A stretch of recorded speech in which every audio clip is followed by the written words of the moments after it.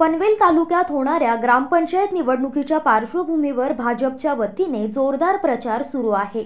या निवडणुकीत नेरे ग्रामपंचायतीची ही निवडणूक होणार असून भाजपचे तालुका उपाध्यक्ष संजय पाटील नेरे ग्रामपंचायतीच्या सरपंच राजश्री म्हस्कर माजी पंचायत समिती सदस्य राज पाटील यांच्या नेतृत्वाखाली नेरे ग्रामपंचायतीवर भारतीय जनता पार्टीचे तीन सदस्य बिनविरोध निवडून आले आहेत.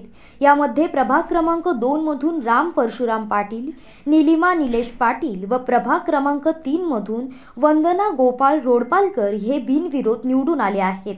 या सर्व नवनिर्वाचित सदस्यांचे भाजपचे पनवेल तालुका अध्यक्ष अरुण शेठ भगत यांनी अभिनंदन करून त्यांना पुढील वाटचालीकरिता शुभेच्छा दिल्या आहेत.